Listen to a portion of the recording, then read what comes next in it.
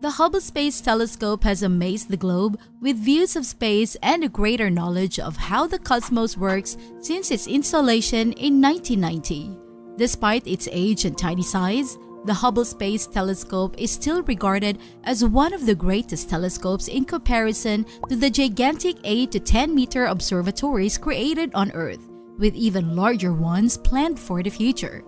The 2.4 meter Hubble mirror is common for contemporary research telescopes with optics in their third decade. However, it outperforms several of the most advanced ground based telescopes on a constant basis. It is still considered the pinnacle of optical and ultraviolet astronomy, with demand for its usage and study considerably exceeding available viewing time each year.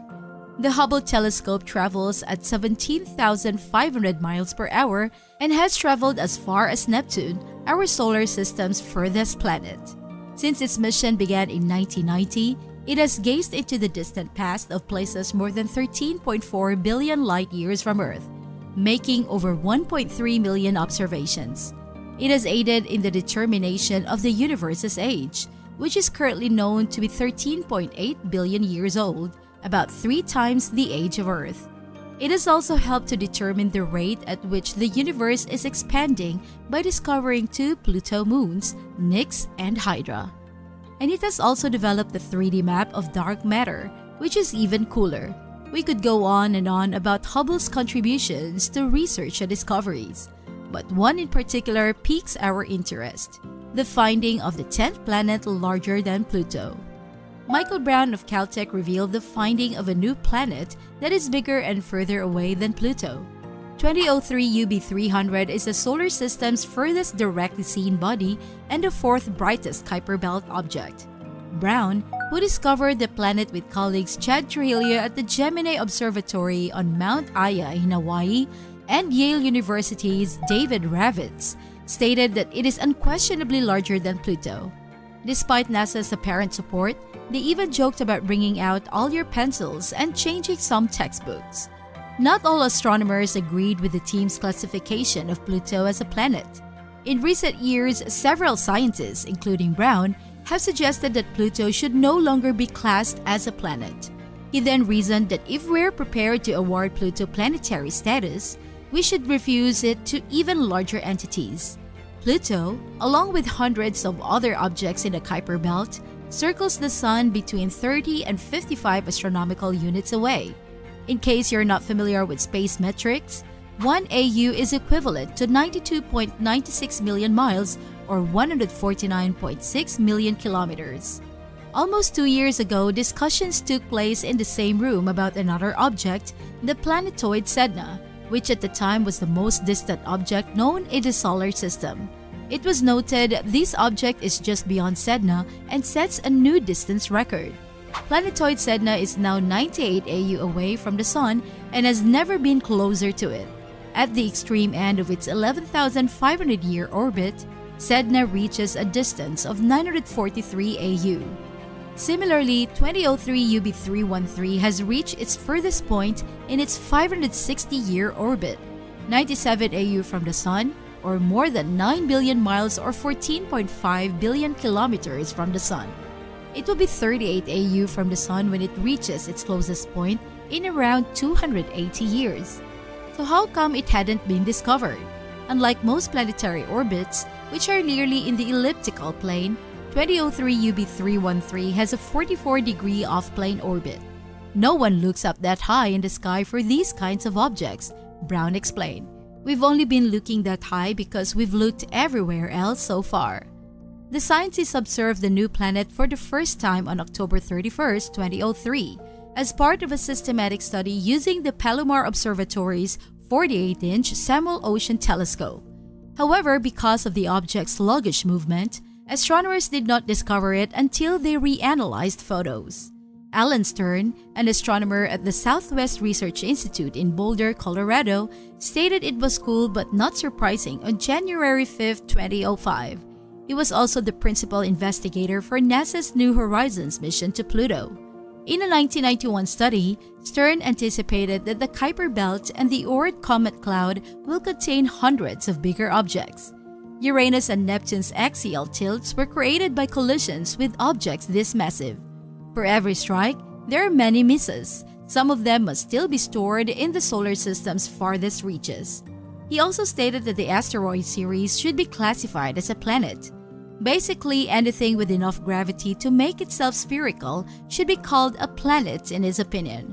Stern believes that people should get used to the thought that our solar system contains dozens of planets that the floodgates have opened and that we'll have a crop of these tiny fellas in 10 years. They're referred to as dwarf planets by him. Stern argues that, just as the most frequent stars in the cosmos are cool dwarfs far smaller than our Sun, certain ice balls may be the most common sort of planetary body in the galaxy. During a conference call, Brown informed reporters that his team had been examining the new planet with as many telescopes as possible in preparation for the rendezvous. Trujillo then utilized Mauna Hawaii's Gemini North telescope to get a near infrared spectrum, which reveals information on the planet's surface features. Pluto's surface is blanketed with frozen methane, according to early studies. The existence of methane ice suggests a primordial surface that has not been considerably heated since the formation of the solar system four and a half billion years ago. According to Brown, if 2003 UB313 ever got near to the Sun, all of the methane ice would have evaporated. No other Kuiper Belt object has a surface like that. The new object, on the other hand, is almost gray in hue, whereas Pluto appears somewhat red. As of yet, the team has no explanation for this difference. The planet's size is limited by the quantity of light it reflects.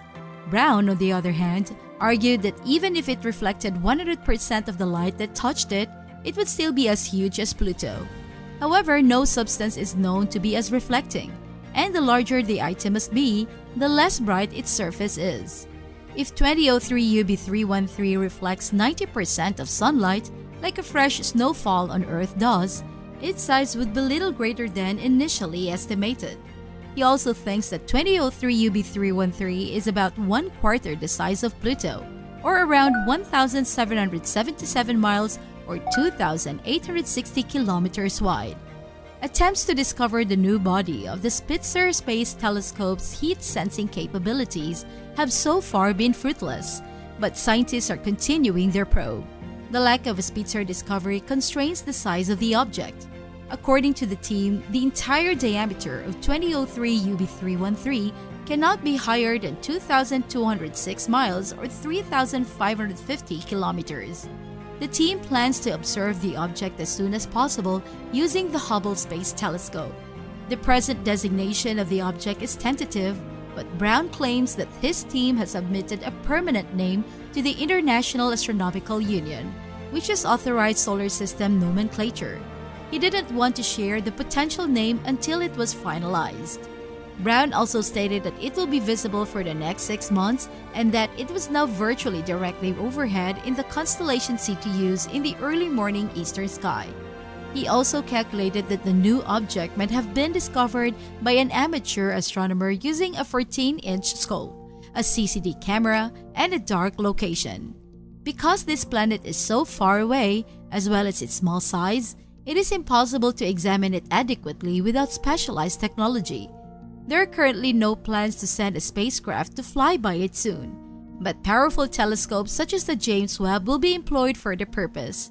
In fact, the James Webb Telescope website has chosen this planet as one of its priorities, as well as smaller objects in the solar system to study their landscapes. What are your thoughts on the ongoing debate about Pluto's classification as a planet and the discovery of new celestial objects like 2003 UB313? Engage with us by leaving a comment, subscribing to our channel, and clicking the notification bell for regular updates. Keep watching, stay inspired, and get ready for more exciting discoveries. See you in our next episode.